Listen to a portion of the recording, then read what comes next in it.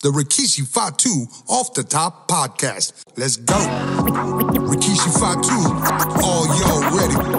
We the ones. It's 2024. Keep it locked on the Rikishi Fatu podcast. Off the top. We gonna talk about everything. Everything wrestling, everything hip hop. Keep it locked. It's time to smarten up. What?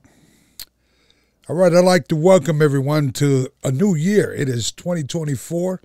And of course, you know that now I have a new podcast that's out, and it's Rikishi Fatu Off the Top podcast, where everything we're going to talk about professional wrestling, things that's happening on the hip hop world. You know, I love hip hop music, and possibly, you know, dive into a little bit of the family. But let me go ahead and take you back here. Let's talk about some things that's, uh, you know, been uh, having the wrestling world in 2023 uh, go crazy. And so, uh, you know what? Let's just go ahead and just, you know, talk about, you know, the rivalry of the year. All right. Uh, so this is what they posted up on there. It wasn't me. It was WWE on, on Fox on Instagram. Rivalry of the year. And they had uh, Sami, which is Sami Zayn, of course, versus Roman. Yeah, I know that guy. And then you have the bloodline, the Civil War. Okay. I obviously know all of them. And then you had Rey versus Dom. And then they went into Brock versus Cody. Now, you know what? Um, you know, it seems to me like, you know, all the rivalries right there, you know, I'd have to say for me, uh, you know, family versus family always there's always drama, right?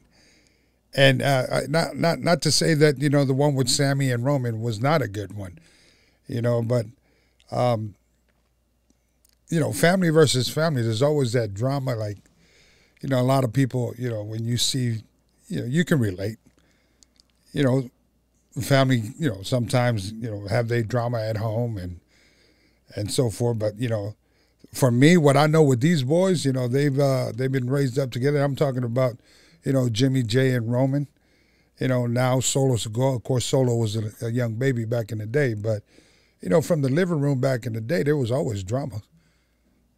You know, and, and then when you see it come on on TV, you know, sometimes uh, I'm sure you fans are like, you don't know what I know as far as what's been happening back in the day as them growing up, but I'm here to tell you you know, uh, sometimes I wonder myself, are they really going at it out there when you see the bloodline going at it? Because, you know, being a professional wrestler, I can see when people pulling punches. But I can also see, too, sometimes when, you know, it's, you know, it's like, uh, take this. This is receipt from whatever. Back in the day when you punched me in the mouth. Well, now I'm going to punch you in the mouth, but the difference is it's going to be on – live TV where the whole world can see. And so, you know, I, I would have to if I'm going to pick any any you know four of that rivalry, uh, it's a close call too, you know, between the bloodline and uh, you know the father and son. I'm talking about Rey Mysterio and Dom, right? You, you got a you got a young son that's you know uh, disrespecting the pops on on TV and stuff, and you know, and and it's always good. It's always good for a storyline. You know, I mean, and at at the end of the day, it's like, you know, how, how many times you get to grace the ring with your father. You know, and just because I'm sure if it was me with my boy, I'd probably be in there just whooping his ass, testing his skills, just to see if the old man can still get it. And, and hey, you know, Rey Mysterio, he still got it you know? And it's such a great thing to be able to see a father and son uh, grace the ring. So, but my my pick for the rivalry of the year, it would have to be. I'd have to go with the bloodline. And the reason I say this is not because they're you know, they're family members and blah, blah, blah. But, you know, we got this saying as asses and seats. And, uh, you know, this bloodline's been, what, holding it down for three years. Man, I'm not making this up. You can do the research and go on WWE Network, go check out their you know, all the the views and stuff like that. Go go look at that chart. You know, go look at that chart. And so if they're that bringing in that much ratings and views and so forth, doesn't it make sense to leave the bloodline where it needs to be? So, you know, big shout out to to the family you know, I don't get to see him that much. Uh, we do talk on the phone on Facebook and and uh, I mean not Facebook, FaceTime, FaceTime. You know, and uh, we kind of you know, you know, keep in contact that way, and it's sometimes about wrestling, but most of the time it's about you know taking care of yourself on the road. How you doing? I'm doing good. How you kids doing? That's what father's supposed to do, right?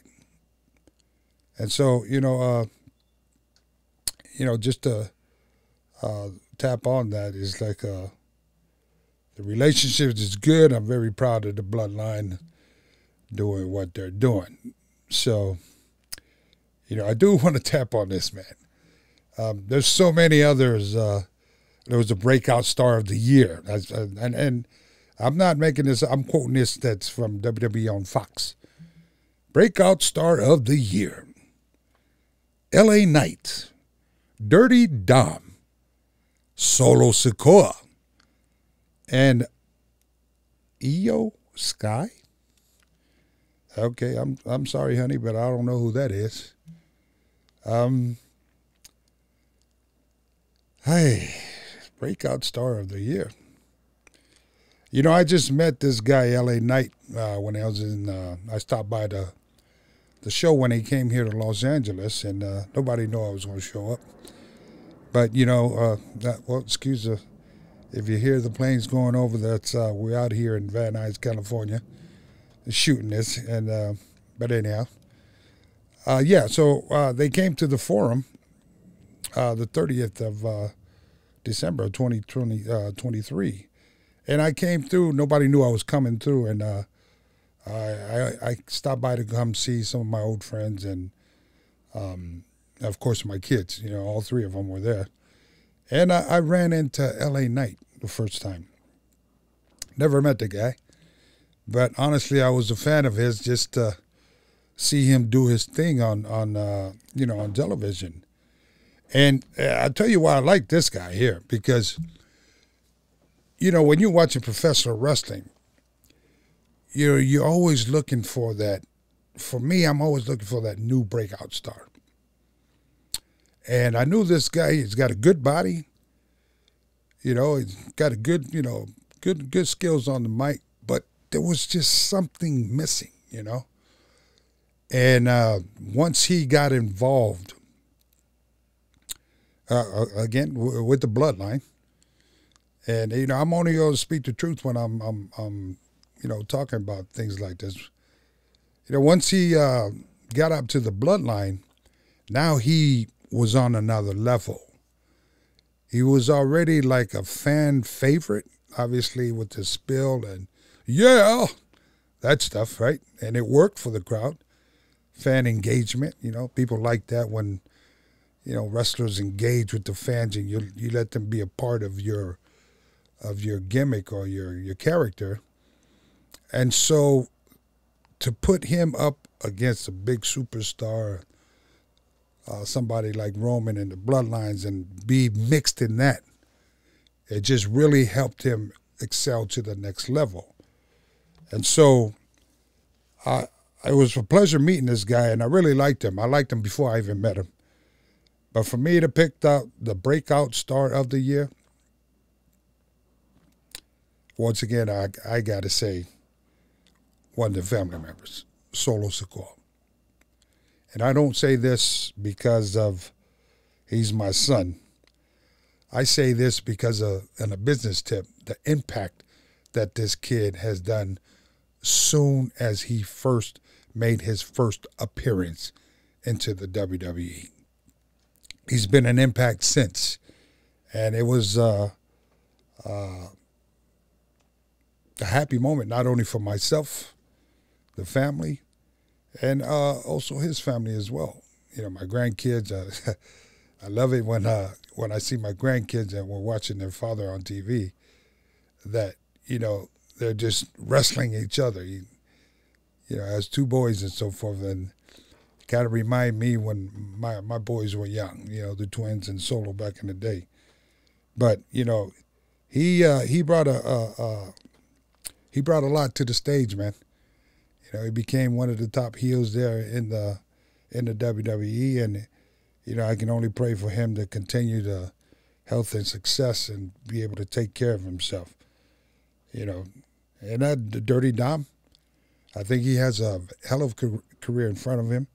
He definitely has a good teacher. Uh, his father, the legend, uh, the Hall of Famer himself, uh, Rey Mysterio. And so this second generation, it's it's uh, you know, people wonder like, you know, why did these second generations come out and they're the way they are as far as in the wrestling business, you know? Well, you know, it's not really, you know, it's not really easy for them. You know, when you have uh, fathers or family members in the business before they they decide to come into the business, you know, they got a lot of shoes to fill. So it ain't like what people think. They just, oh, because your pops or your your uncles uh, been in there, so it's easy for them to open the door for you to get in. And so the fact is this that once you have family members that are in there, you got to work as hard, if not harder. And so, you know, that's my take uh, as far as, you know, my pick for this episode here. So I want y'all to make sure you follow the Rikishi Fatu Off the Top podcast make sure you subscribe, like all the social media that's out there. And you know what? I'm gonna just uh, just bring it to you raw, man. We're just gonna talk. We're just gonna have a good time. And in the meantime, remember this: it's free to be kind to one another. And I'm out. You want to bring awareness to your business? All you got to do is hit the link below, and then guess what? Rikishi Fatu Off the Top podcast will be promoting you. It's time to smarten up. It's time to say things that people are scared to say. It's time to bring you on into my home so you know what time it is. In the locker room, in the hip hop world, in the wrestling world. You might even come into my kitchen.